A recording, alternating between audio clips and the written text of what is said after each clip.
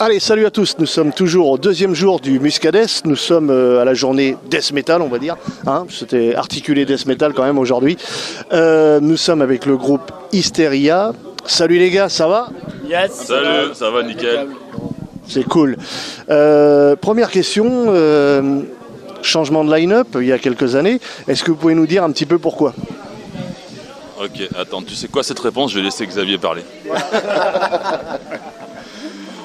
Ouais, c'est un peu chaud là. Ah, Merci euh, de la question. Euh, bah, oui, on a changé de line-up parce que euh, notre bassiste en fait euh, était Ah, plus il dans la voulait même. faire- euh, il dans voulait la- faire autre chose. il voulait faire autre chose. Il, il avait plus trop envie de s'investir. Il avait plus trop envie de s'investir dans le groupe et euh, bah, de ce fait en fait il, il a quitté le groupe et puis euh, Adrien était un pote de date depuis au moins ouais, 20 ans, bien 20 ans ouais. Je sais pas si à la base il était bien branché pour euh, jouer dans Hysteria, mais on lui a pas laissé le choix en fait, tu vois. On lui a dit bah écoute, parce qu'en fait quand notre bassiste s'est tiré, euh, on avait un concert genre un, mois après, et donc en fait euh, on avait besoin d'un session. Et comme on le connaissait depuis 20 ans, on lui a dit bah écoute tu vas faire session, et après le concert, on lui a dit bah écoute t'es membre du groupe. Il a dit bah ok. Voilà. Là, le, pourquoi du comment du changement de bassiste. Mais je tiens quand même à préciser qu'on n'a pas changé de line-up depuis le début, depuis 96 quoi. Ouais, le Voilà, c'est le seul changement de line-up. Je pense qu'il n'y en a pas beaucoup des groupes comme ça là, qui ont gardé le même line-up depuis. euh, Et- Exact. Avant d'être euh, avant d'être Zikos, on est potes, on est une bande de potes. Et c'est plus important que euh, on arrive à être en osmose où de toute façon on s'adapte, euh, les influences évoluent chacun, mais avant tout ça reste euh, le groupe quoi. Euh, depuis ce changement, donc vous avez sorti un EP, c'est ça? Hein Euh, Est-ce que c'était une manière de clore un petit peu le chapitre ou ça s'est fait comme ça Non, alors, donc euh, justement, le EP, on a voulu le sortir là, par rapport à l'arrivée d'Adrien. Mhm. Donc on s'est dit, il faut qu'on sorte un CD, et voilà, on avait, on avait euh, quelques morceaux de près, donc on a dit, ben, on va en profiter pour, pour marquer un petit peu le changement. Là, on va faire ce EP, puis en préparation d'un nouvel album. quoi. Et surtout, on fêtait nos 20 ans. Oui. Voilà, c'était ça en fait aussi le truc. On s'est dit c'était le bon moment parce qu'on n'avait pas euh, beaucoup de matériel en fait pour en- enregistrer un album complet. On avait quelques morceaux, genre 3-4, et puis on a dit bah on a les 20 ans. Je crois qu'on avait dit ça au mois de décembre et les 20 ans on les a fait au mois de mars, je crois, un truc comme ça. Et on a dit bah c'est simple, on va enregistrer et on va faire le concert des 20 ans, on va ressortir un truc. Adi Posser nous a suivi aussi, puisqu'il nous a réédité en fait notre euh, bah, oui premier album puisqu'on avait un mini CD. Notre premier album, il l'a réédité en vinyle, en Gatefold et puis euh, bah voilà, pour ça, pour ça qu'on a fait ça. Donc sur cet EP, il y avait trois, trois nouveaux morceaux et trois lives. Euh, pourquoi ce choix et pourquoi peut-être pas euh, plus des reprises ou des choses comme ça? Ouais, alors après, on n'a jamais vraiment été un groupe de reprises, quoi. Ça n'a jamais été notre ADN. Euh, même en live, quoi. c'est- On en a fait quelques-unes, mais ça date, c'est vraiment très très vieux, quoi. Ouais, à nos débuts, on, en- on faisait, on faisait une reprise, euh, voilà, une reprise dans le set. Donc non, l'idée, c'était vraiment de faire de la compo, euh, de marquer les 20 ans, effectivement. Et puis voilà, on avait, on avait les, les pistes aussi du Silac. Donc on, en a profité pour, voilà, pour mettre les morceaux live du Silac, quoi. Ok. Euh, justement, tu parlais tout à l'heure euh, nouvel album. Donc est-ce qu'on peut en parler plus en détail ou est-ce qu'il est encore trop tôt? Non, non, non, c'est pas froid du tout, puisqu'en fait, on a déjà booké le studio. Ça sera au mois de, normalement, avril-mai. Donc, euh, il est pratiquement fini de composer. Et, euh, et ben, il sortira toujours chez Adiposer Record, puisque Christian, il nous suit sur l'affaire aussi. Et donc, euh, affaire à suivre. Et dans l'évolution du, euh, du EP justement, où euh, ça, ça- ça prend un virage un peu plus blague justement. et- Au, au grand désespoir de Jérôme. Ça dépend les morceaux. Il y a, il y a- moins de gros death bien gras, mais par contre, euh, plus black, mais mélodie, ambiance. euh, voilà, il n'y a pas une rupture avec euh, les albums d'avant, c'est dans la continuité. Il y a plus de, de, de- chants double voix. C'est voilà, sur l'album, il y, y a deux chanteurs à part entière et voilà. Après, c'est ouais, plutôt dans la. Mais les morceaux sont vraiment variés. euh, Il y a, quand même une bonne part. Il y a peut-être moins de technique euh, au niveau des, des grattes, euh, des instruments à cordes, mais plus d'ambiance. On, a, on accentué le truc avec bah, l'arrivée d'Adrien, parce que Thibaut déjà il chantait, euh, il faisait des backings avec Sylvain, mais là pour le coup en fait on l'a bien inclus en fait dans la composition du dernier. Et euh, Sylvain a laissé beaucoup de place à Adrien dans les voix. Et euh, dans le prochain ça sera exactement pareil en fait, il y aura beaucoup de questions-réponses, voix black, voix grave, voix doublée et dans un délire comme ça. Est-ce qu'il y a déjà une date ou c'est encore trop tôt de sortie? Bon, la date de sortie, elle n'est pas fixée. On est. Non, non, non. Ça sortira avant fin 2023, ça c'est sûr. Voilà.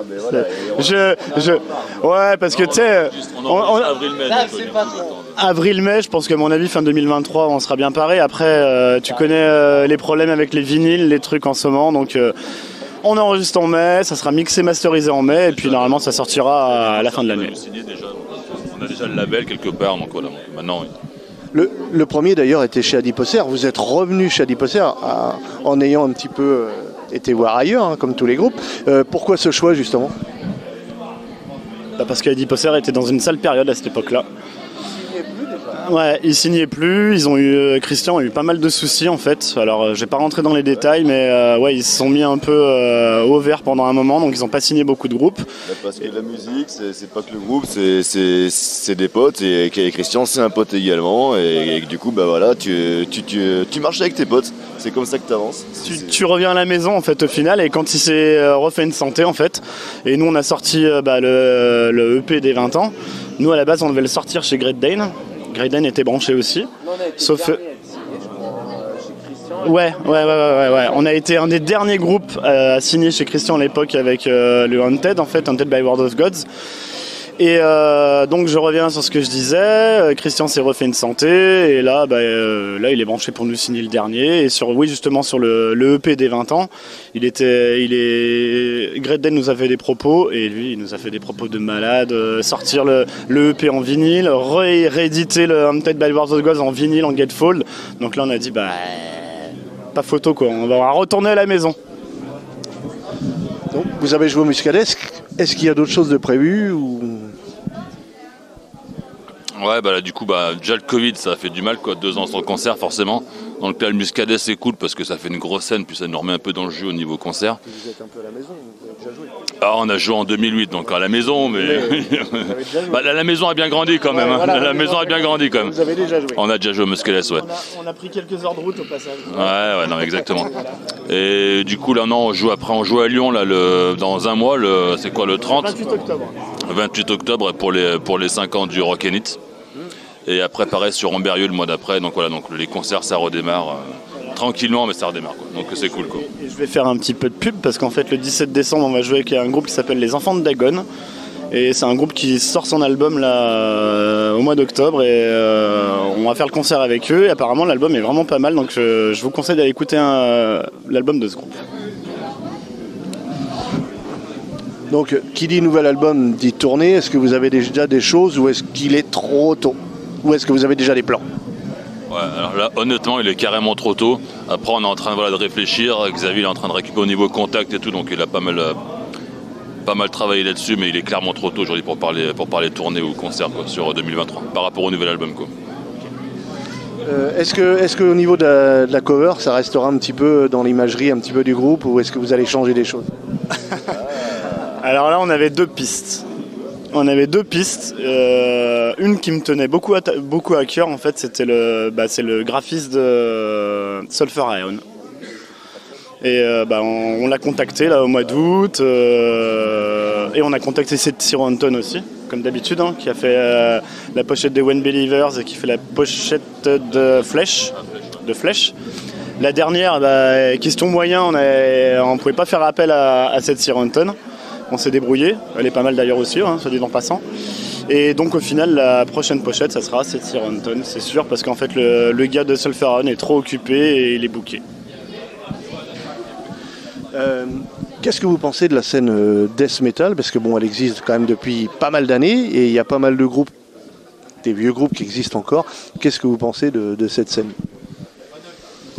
Alors, je sais pas ce que je pense de la scène, par contre, quand même, ce que je vois, ce qu'on a vu là sur, ce- sur le Muscadès, quoi, c'est que moi, ce qui me fait peur, c'est que le death metal, c'est assez vieillissant. Du coup, quand on voit la moyenne d'âge, ça commence à être. euh, J'ai l'impression que la relève, elle a un peu de difficulté, quoi. Et donc, euh, J'espérais justement, je me suis dit avec des B-Nighted et tout, là, parce que hier, on, donc on était là hier, et hier j'ai dit, putain, quand même, on a du souci à se faire parce que la scène, elle est quand même vachement vieillissante, et la relève, voilà, c'est compliqué. Donc après, peut-être qu'ils sont plus des scores, ou je sais pas, de styles un peu différents. Mais bon, voilà, il y, a il y a eu des périodes dans, voilà, dans, dans la vie du death metal et du black metal, il y a eu des creux, c'est remonté, c'est redescendu, voilà, c'est un peu des vagues, quoi. Donc euh, bon, j'ai bon espoir que ça continue quand même. Mais, mais on remarque quand même que les, les vieux groupes, les anciens, sont toujours là quand même. Donc ça résiste. Ah bah clairement, les anciens sont toujours là. Alors, La preuve aujourd'hui, quoi. La preuve aujourd'hui, quoi. Bah ne serait-ce que voilà, nous, Destinity, Benighted, Load Blast, Benediction. Enfin voilà, il y a Inhumate. Euh, on voit beaucoup de gros groupes euh, qui avaient splitté qui se reforment euh, et qui reviennent. Je veux dire, bah, il y a The Gates, il y a- Ouais, ouais, je pense que voilà, maintenant le, scud d'acheter des CD, c'est pas forcément le truc. C'est aussi ce qui explique les labels qui signaient moins. Mais en fait, c'est le concert. Et il y a plus de concerts qu'avant parce que c'est même, il y en a même tellement des fois que nous on voit à Lyon. Ce week-end là, enfin sur octobre, il y a, il y a 3 quatre gros concerts, euh, mais que des pointures. Enfin, en même temps presque, à deux jours d'intervalle, enfin c'est de la folie. Mais parce que maintenant le marché, je pense, et il a, c'est plus le CD, c'est- le concert et le t-shirt et, et le live. Et on le voit sur le merch. Tu vois l'exemple même hier, Marduk ils sont venus hier, ils avaient zéro merch. Bon, euh, au grand désespoir de Sylvain qui voulait acheter un t-shirt. Ok, bon les gars, je vais vous demander un petit mot pour la fin et puis vous souhaitez plein de bonnes choses pour la suite. On attend l'album, hein, bien sûr, avec impatience. Enfin, surtout, j'attends l'album. Tiens, voilà. voilà, et euh, bah, à très bientôt. Ouais, ça marche. Bah écoute, merci pour l'interview. Euh, en tout cas, on aura passé un super week-end contre la journée d'hier avec voilà avec Marduk en tête d'affiche, c'était excellent. Euh, Aujourd'hui, c'est pareil, ça va s'annoncer excellent. Donc là, la soirée est encore pas finie. Euh, le Muscadès, voilà, c'est enfin, voilà, comme on est comme à la maison, quoi. La sauce, les l'orga, c'est génial, quoi. Les, les bénévoles, ils sont, c'est de la pure tuerie, quoi. Donc euh, longue vie au Muscadès et puis longue vie au métal. hein. C'est clair. Yes, bah, pour moi le, le mot de la fin, bah, je vais remercier bah, le Muscadès de nous avoir euh, réinvités ce jour.